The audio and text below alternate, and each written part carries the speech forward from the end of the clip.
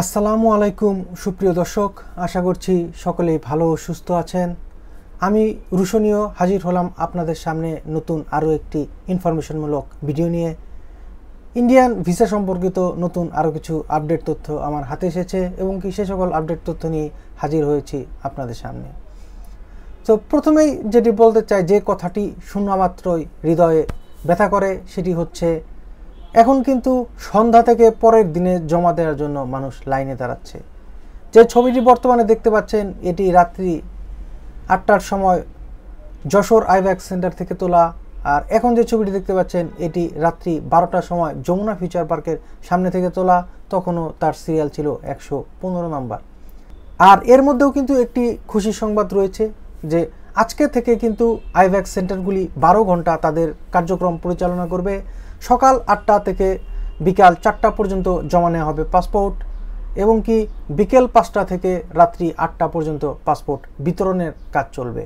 আর আগামীকাল থেকে কিন্তু রবিবার পর্যন্ত থাকবে আইভ্যাক্স সেন্টারগুলি বন্ধ। আগামীকালকে পয়লা বৈশাখের বন্ধ। শুক্র এবং কি শনিবার সাপ্তাহিক ছুটি এবং কি রবিবারে স্টার সানডে এই চার দিন টানা আইভ্যাক সেন্টারগুলি বন্ধ থাকবে। আর বর্তমানে কিন্তু পাসপোর্ট খুবই জলদি ফেরত পাওয়া যাচ্ছে। ঢাকা আইভ্যাক্স সেন্টারগুলিতে একদিন পরেই পাসপোর্ট ফেরতের এস চলে আসছে।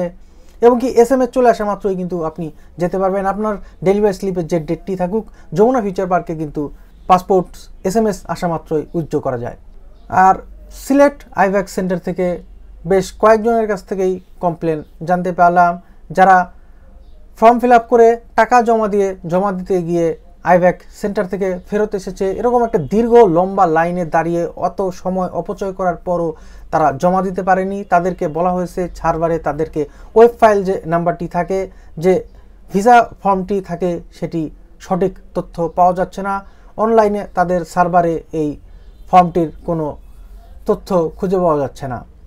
তো প্রত্যেকেই চেষ্টা করবেন দুটি করে ফর্ম পূরণ করার সিলেট আইভ্যাক সেন্টারে যারা জমা দিবেন। কারণ যদি আপনি টাকা জমা দেওয়ার পর লাইনে দাঁড়িয়ে যদি আপনি সেখানে ফাইল জমা করতে না পারেন, সেই টাকা কিন্তু আর ফেরত পাওয়া যায় না। তো চেষ্টা করবেন বিকাশ থেকে কিন্তু এখন খুব সহজে শুধুমাত্র ওয়েব ফাইল নাম্বারটি পূরণ করে এমনকি মোবাইল নাম্বার দিয়ে কিন্তু তিরিশ সেকেন্ডেরও কম সময়ের মধ্যেই ইন্ডিয়ান ভিসা অ্যাপ্লিকেশন সেন্টারগুলির টাকা পরিশোধ করা যায়। তো দুইটি বা তিনটি ফর্ম পূরণ করে নিয়ে যাবেন। যদি কোনো কারণে জমা না হয় একটি, সেক্ষেত্রে আরেকটি দিবেন। নতুন ছবি আঠা সংযুক্ত করে এবং সাইন করে নিয়ে যাবেন। বাকি পেপারসগুলো একসাথে স্ট্যাপলিং করে দিয়ে দেবেন। যদি বলা হয় পেমেন্ট করেননি, তো তৎক্ষণাৎ আপনি আপনার বিকাশ থেকে খুব সহজেই তখন পেমেন্ট করতে পারেন। আর সেক্ষেত্রে আপনার টাকাটি লস হওয়ার কোনো সুযোগ থাকছে না। আর বেনাপোল বর্ডার থেকে লাস্ট আপডেট যেটি জানতে পারলাম, বেনাপোল বর্ডারে কিন্তু পেট্রোপোলে কিন্তু তাদের যে নতুন বিল্ডিংয়ের কথা আপনাদের বেশ কিছু দিন আগে বলেছিলাম, সেই বিল্ডিংয়ের কার্যক্রম শুরু হয়ে গিয়েছে। গতকালকে সকাল থেকে এবং কি আজকে সকাল থেকেই ছিল প্রচুর পরিমাণে ভিড়। ট্যুরিস্ট ভিসাধারী, বিজনেস ভিসাধারী এবং কি স্টুডেন্ট ভিসাধারী, মেডিকেল ভিসাধারী প্রত্যেকেই যাচ্ছেন বেনাপোল স্থলবন্দর দিয়ে। এখন কিন্তু প্রতিটি ক্যাটাগরির ভিসাধারীরাই বেনাপোল বর্ডার দিয়ে যেতে পারেন, কোনো সমস্যা নেই। তবে সেখানে যেটি জানতে পেরেছি, যাদের তিন ডোজ মানে বুস্টার ডোজ দেওয়া রয়েছে, তাদের তো খুব অল্প সময়ের মধ্যেই তারা পারাপার হয়ে যেতে পারছেন। যাদের ডাবল ডোজ টিকা দেওয়া রয়েছে, তাদের পেট্রোপোল বর্ডারে করোনার র্যাপিড টেস্ট করানো হচ্ছে। আর চ্যানেল টোয়েন্টি ফোরে একটি নিউজে দেখতে পেলাম, যারা দার্জিলিং, সিকিম কিংবা শিলিগুড়ি ঘুরতে যাবেন, সেখানে দেখিয়েছে তেলের দাম বৃদ্ধি পাওয়ার কারণে প্রতিটি স্পটগুলোতে ঘুরতে যাওয়ার খরচ বৃদ্ধি পেয়েছে। বাস ভাড়া কিংবা জিপ ভাড়া, যেটা আগে পঁচিশশো টাকা জিপ ভাড়া ছিল, সেই জিপ ভাড়া এখন পঁয়ত্রিশশো থেকে চার হাজার টাকা করা হয়েছে। সাইট সিং করার জন্য যে রিজার্ভ করা হতো জিপগুলি, তার প্রতিটি খরচ বেড়ে গিয়েছে। আর যারা বাংলাদেশ থেকে দেশের বাইরে ঘুরতে যাবেন, বাংলাদেশে আসার সময় কিন্তু আপনাকে অবশ্যই অনলাইনে হেলথ ডিক্লারেশন ফর্ম পূরণ করতে হবে। তো কীভাবে ফর্মটি পূরণ করবেন, এটি কিন্তু গতকালকে আমি আমার ভিডিওতে দেখিয়েছি, যেটি হয়তো এখন আমার আঙুলের মাথার উপর দেখতে পাচ্ছেন। এখানে ক্লিক করেও ঘুরে আসতে পারেন এবং কি আমার চ্যানেলেও ঘুরে আসতে পারেন।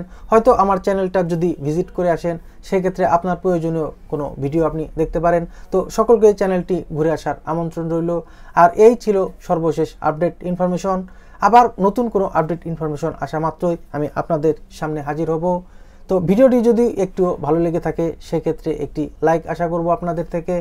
আর যদি কোনো প্রশ্ন করতে চান, সেক্ষেত্রে কিন্তু কমেন্ট বক্সে কমেন্ট করতে পারেন।